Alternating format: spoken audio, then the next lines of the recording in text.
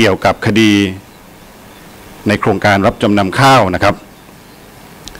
ต้องเรียนพี่น้องสื่อมวลชนแบบนี้ก่อนนะครับ ว่าพรรคประชาธิปัตย์เนี่ยต่อสู้กับเรื่องทุจริตมาโดยตลอดนะครับ การเลือกตั้งในทุกครั้งที่ผ่านมาเนี่ยการทำหน้าที่แล้วแต่ว่าประชาชนเนี่ยจะมอบหมายให้เราทำหน้าที่ใดนะครับ เป็นรัฐบาลหรือเป็นฝ่ายค้าน ครั้งที่ผ่านมาเนี่ยเราเป็นฝ่ายค้านเนี่ยก็ได้มี กรณีการตรวจสอบ โครงการรับจำนำข้าว โครงการนี้แน่นอนนะครับ การตรวจสอบเนี่ยก็เพื่อปกป้องผลประโยชน์ของประเทศชาติ ปกป้องงบประมาณของแผ่นดินนะครับ ที่สำคัญเนี่ยผมคิดว่า โครงการรับจำนำข้าวเนี่ยเป็นอีกโครงการหนึ่งที่มีพฤติกรรมของการบริหารราชการแผ่นดิน ส่อไปในทางทุจริต ขณะนี้เนี่ย อยู่ในระหว่างการพิจารณาของศาลฎีกาแผนกคดีอาญาของผู้ดำรงตำแหน่งทางการเมือง และอยู่ในขั้นตอนของการเรียกค่าเสียหายในทางแพ่ง ซึ่งส่วนนี้เนี่ยก็ต้องให้ความเคารพศาลที่จะไม่ขอพูดในรายละเอียดของคดีนะครับ แต่ประเด็นสำคัญในวันนี้เนี่ยยังมีประเด็นสำคัญที่มีบุคคลที่เกี่ยวข้องกับโครงการรับจำนำข้าว ที่มีการทุจริตกันในโครงการรับจำนำข้าวเนี่ยมีอีกหลายคนที่ยังไม่ได้มีการดำเนินการดำเนินคดีกับบุคคลต่างๆ เหล่านี้หนึ่งนะครับคณะรัฐมนตรีทุกคนที่เกี่ยวข้องกับโครงการรับจำนำข้าว ประเด็นนี้อยากเรียนว่าในเมื่อตัวนายกรัฐมนตรี นางสาวยิ่งลักษณ์ชินวัตรเนี่ยได้ถูกดำเนินคดี ทั้งคดีแพ่งและคดีอาญา ฉะนั้นแล้วเนี่ยคณะรัฐมนตรีคนใดที่มีส่วนรู้เห็น นั่งอยู่ในคณะรัฐมนตรีแล้วไม่มีการระงับยับยั้งความเสียหายที่เกิดขึ้นในโครงการรับจำนำข้าว ไม่ว่าจะเป็นกรณีของ G2G หรือว่ามีการทุจริตในขั้นตอนต่างๆ หลากหลายขั้นตอนนะครับ ผมคิดว่าคณะรัฐมนตรีเนี่ยเป็นองค์กรแรกนะครับที่จะต้องมีการสอบสวนและไต่สวน คณะกรรมการอีกหนึ่งชุดเนี่ยที่จะต้องมีการไต่สวนเพิ่มเติมเนี่ยคณะกรรมการชุดนี้เนี่ยเป็นคณะกรรมการนโยบายข้าวแห่งชาติ ซึ่งมีคุณยิ่งลักษณ์ชินวัตรเนี่ยเป็นประธานคณะกรรมการ ผมอยากตั้งเป็นคำถามนะครับว่าในเมื่อคุณยิ่งลักษณ์ชินวัตรเนี่ย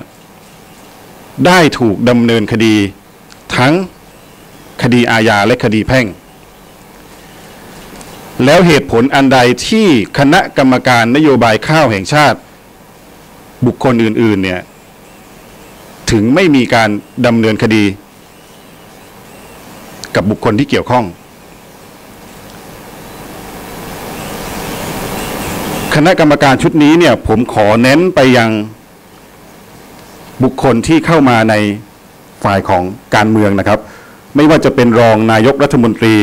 รัฐมนตรีว่าการกระทรวงเกษตร และสหกรณ์รัฐมนตรีว่าการกระทรวงการคลัง ทั้งนี้ทั้งนั้นเนี่ยคณะกรรมการข้าวแห่งชาติเนี่ยหรือว่ากนชเนี่ยทุกคนจะต้องถูกไต่สวนด้วยองค์กรในกระบวนการยุติธรรม เพื่อให้เห็นว่า ใครมีส่วนเกี่ยวข้องรู้เห็นกับโครงการทุจริตในโครงการรับจำนำข้าว คณะกรรมการอีกชุดหนึ่งนะครับ คือคณะอนุกรรมการระบายข้าวที่มีรัฐมนตรีว่าการกระทรวงพาณิชย์ เป็นประธาน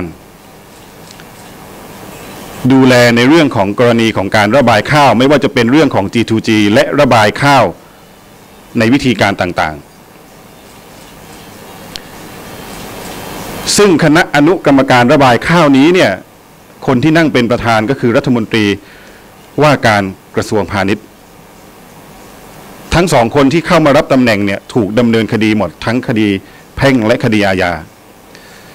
ฉะนั้นแล้วเนี่ยบุคคลที่เป็นคณะอนุกรรมการระบายข้าวชุดนี้เนี่ยก็จะต้องมีการได้รับการไต่สวน เพื่อเห็นว่ามีบุคคลใดบ้างที่มีส่วนรู้เห็นเป็นใจกับโครงการทุจริตในโครงการนี้ ทั้งสามส่วนนี้เนี่ยผมคิดว่ารัฐบาล ควรที่จะมีการให้พิจารณาเรื่องนี้อย่างเร่งด่วน แต่ทั้งนี้ทั้งนั้นเนี่ยบุคคลที่เป็นคณะกรรมการไม่ว่าจะเป็นคณะกรรมการนโยบายข้าวแห่งชาติ หรือว่าคณะคณะอนุระบายข้าวเนี่ยคนที่เป็นเจ้าหน้าที่ของรัฐเป็นข้าราชการที่ดำรงตำแหน่งโดยหน้าที่เนี่ยถ้าหากเขากระทำด้วยความสุจริต หรือว่ามิได้มีเรื่อง เกี่ยวข้องกับการทุจริตในโครงการนี้เนี่ยท่านสามารถกันเข้ามาเป็นพยานได้ครับ เพราะหากกันเขาเหล่านั้นมาเป็นพยานแล้วเนี่ยประโยชน์ก็จะเกิดขึ้นกับรูปคดีเป็นอย่างมาก ความจริงต่างๆ ก็จะได้ปรากฏ อันนี้ก็เรียกร้องให้ไต่สวนบุคคลที่เกี่ยวข้องนะครับหนึ่งคณะรัฐมนตรีสองคณะ กรรมการนโยบายข้าวแห่งชาติสามคณะอนุระบายข้าว บุคคลใดที่เกี่ยวข้องกับการทุจริตในโครงการรับจำนำข้าว บุคคลนั้นจะต้องไม่ได้รับการยกเว้นนะครับ ประเด็นที่เกี่ยวข้องกับคดีจำนำข้าวเนี่ยขณะนี้เนี่ยเป็นที่ทราบกันดีนะครับว่ามีกระบวนการในการ มีกระบวนการยุติธรรมเนี่ยได้ พิจารณาอยู่ คดีอาญาก็อยู่ที่ศาลฎีกาแผนกคดีอาญาของผู้ดำรงตำแหน่งทางการเมือง และคดีแพ่งเรื่องเรียกค่าเสียหายเนี่ยก็อยู่ในช่วงระหว่างดำเนินการอยู่ ผมคิดว่าสิ่งหนึ่งที่คอสชและรัฐบาลเนี่ยที่อวดอ้างผลงานว่า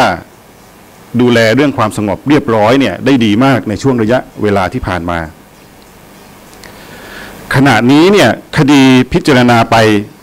ใช้เวลาพอสมควรแล้ว ไม่อยากให้มีกลุ่มคนบางกลุ่มเนี่ยที่มีพฤติกรรมแห่งการข่มขู่คุกคาม กดดันองค์กรต่างๆ ที่มีหน้าที่ในการพิจารณาเรื่องนี้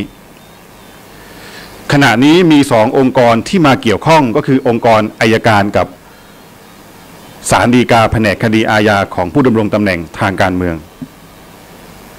ฉะนั้นแล้วเนี่ยคอสชและรัฐบาลเนี่ย ท่านต้องให้ความสนใจนะครับ ส่งเจ้าหน้าที่